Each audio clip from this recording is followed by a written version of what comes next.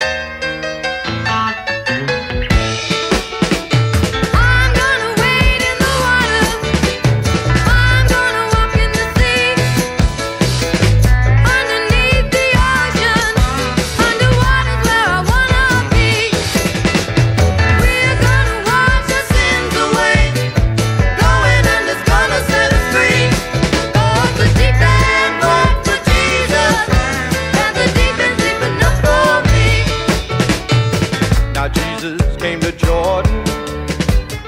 came from Galilee.